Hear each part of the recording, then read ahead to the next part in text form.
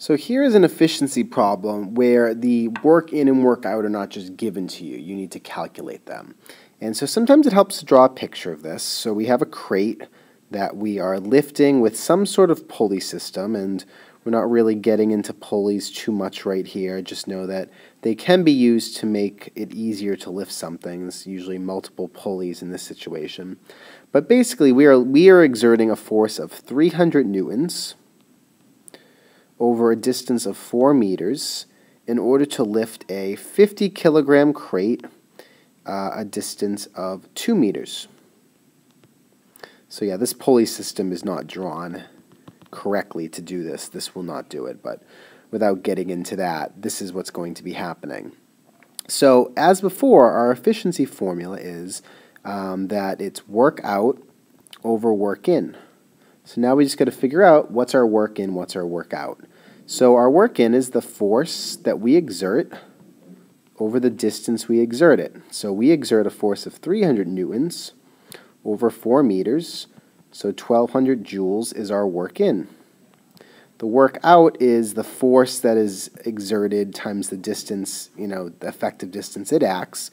Now, 50 kilograms is the mass of this, but remember that translates to a 500 newton weight.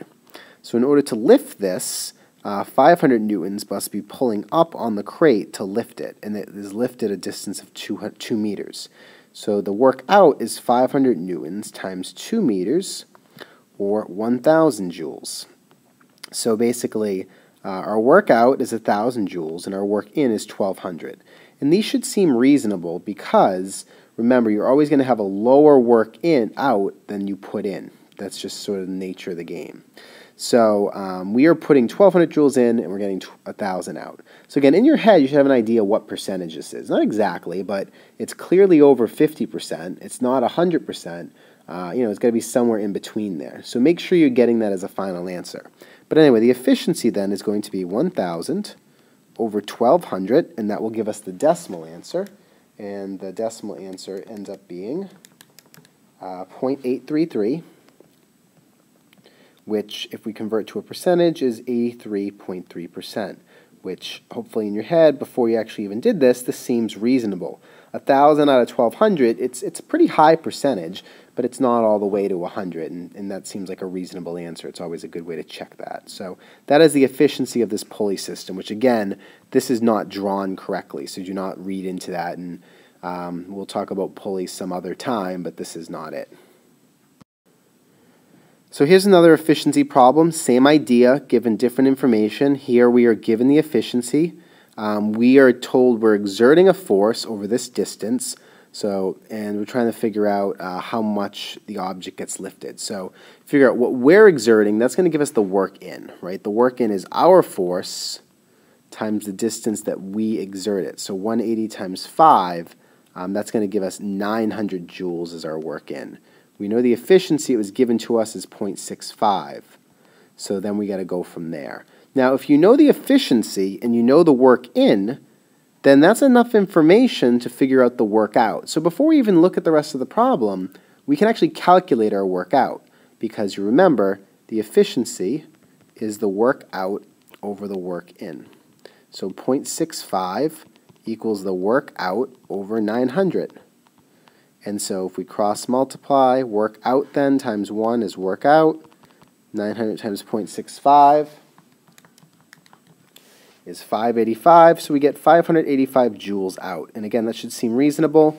If it were 50% efficient, we'd get half of 900, which is 450, but it's 65% efficient, so we get a little more than 450. That's our workout.